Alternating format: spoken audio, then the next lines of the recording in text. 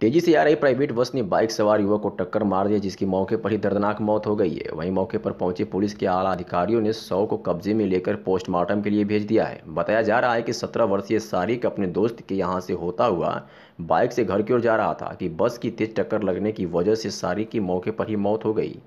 जवान बेटी की मौत के बाद परिवार में कोहराम मचा हुआ है। यह घटना थाना कोतवाली, चांदपुर की बताई जा रही है।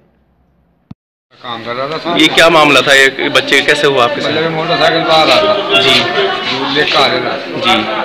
तो दूध लेके जो आया तो गाड़ी जो बराबर पर गुजरी तेज में गाड़ी थी। जी। की तो ये कौन सी गाड़ी पे था आपका बेटा? ये मोटरसाइकिल मोटरसाइकिल पे था। क्या आपने गाड़ी का नंबर पहचाना? सरकारी थी प्राइवेट? प्राइवेट प्राइवेट गाड़ी। आपको नंबर मालूम है उस गाड़ी का? आप लोगों ने तो कोई काम करिएगा काम इस बच्चे का नाम क्या है? सारी और आपका नाम? गुलफाम। गुलफाम। अब आप क्या चाहते हैं? जो भी हो उतना कर लेंगे किसी तरह से जैसे ये पकड़ा जाता है आरोपी? आरोपी पकड़ा जाता है तो उसमें क्या करेंगे आप? समझौता ही कर लेंगे और क्या क्या करना है सबको मारना हुई है या पीटना है जैसा वो चाहेगा जैसा चाहेंगे तो हो।